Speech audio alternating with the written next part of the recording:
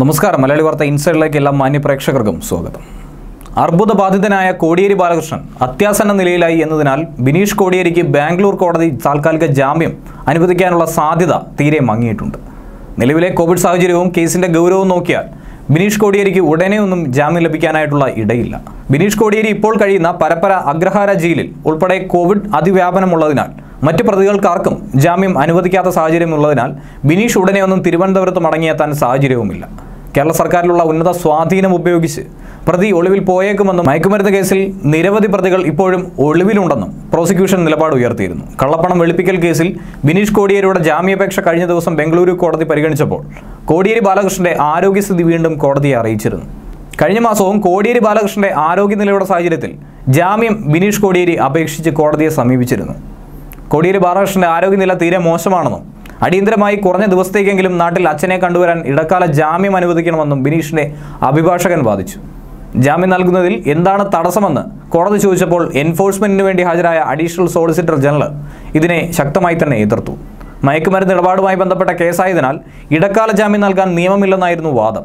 Bineesh കോടിയേരിയുടെ driver അടക്കം കേസിൽ ഉൾപ്പെട്ട ചിലർ ഇപ്പോഴും ഒളിവിലാണെന്നും സോളിസിറ്റർ ജനറൽ കോടതിയെ അറിയിച്ചു. മെയ് പന്ത്രണ്ടിന് ആദ്യത്തേതായി കേസ് പരിഗണിക്കാൻ മാറ്റിവെച്ചെങ്കിലും ജാമ്യത്തിനുള്ള സാധ്യത തീരെ പരിമിതമാണ്.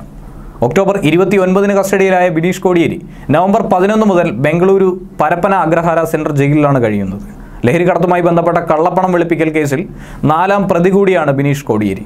ഇതിനു മുൻപ് മൂന്ന് തവണ നൽകിയ ജാമ്യ നീക്കങ്ങളും ഹർജികളും ബംഗളൂരു കോടതി തള്ളിയിരുന്നു. ബിനീഷ് കോടിയേരി മയക്കുമരുന്ന് പാർട്ടികളിൽ പതിവായി തന്നെ മയക്കുമരുന്ന് ഉപയോഗിച്ചിരുന്നു എന്നുള്ള മറ്റു പ്രതികളുടെ മൊഴിയും നിലവിലുണ്ട്. ഡിസംബർ ഇരുപത്തിയെട്ടിന് കുറ്റപത്രം കോടതിയിൽ സമർപ്പിച്ച ശേഷം വിചാരണ കാത്ത് കഴിയുകയാണ് ബിനീഷ് ഇപ്പോൾ.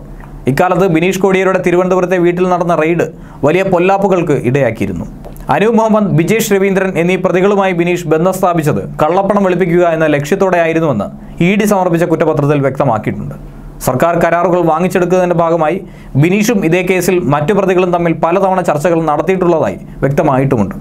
കേരള സർക്കാരിൽ ബിനീഷിനുള്ള സ്വാധീനം ഉപയോഗിച്ച് വിവിധ കരാറുകൾ ഏർപ്പാടാക്കി കൊടുക്കുകയും ഇതുവഴി കോടികളുടെ കമ്മീഷൻ വാങ്ങിയെടുക്കുകയും ചെയ്തതായി കുറ്റപത്രത്തിൽ പറയുന്നുണ്ട്.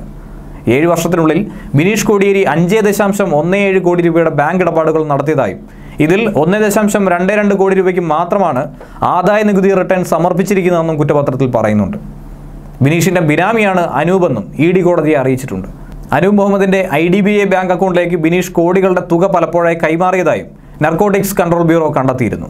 വിനീഷ് കോടിയേരിയുടെ സഹോദരൻ ബിനോയ് കോടിയേരി പ്രതിയായിട്ടുള്ള മുംബൈ പീഡന കേസിൽ അടുത്ത മാസം വിചാരണ ആരംഭിക്കുകയാണ്. ദുബായിൽ ബിസിനസ് ആവശ്യത്തിനായി എത്തിയ ബിനോയ് കോടിയേരി അവിടെ ബീഹാർ സ്വദേശിയായിട്ടുള്ള ബാർ നർത്തകയെ പ്രലോഭിച്ച് ഒപ്പം താമസിപ്പിക്കുകയും അതിലൊരു കുട്ടി ജനിക്കുകയും പിന്നീട് വിവാഹ വാഗ്ദാനത്തിൽ നിന്ന് പിന്മാറുകയും ചെയ്ത കേസിൽ ബിനോയ് ശിക്ഷിക്കപ്പെടുമെന്നാണ് ലഭിച്ചിരിക്കുന്ന സൂചന. കേസ് ഒതുക്കി തീർപ്പാക്കാൻ നടത്തിയ ശ്രമങ്ങൾ പരാജയപ്പെട്ടുകൊണ്ടിരിക്കെ ജൂണിൽ തുടങ്ങുന്ന വിചാരണയും കോടിയേരി കുടുംബത്തിന് പുകിലായി മാറുകയാണ്.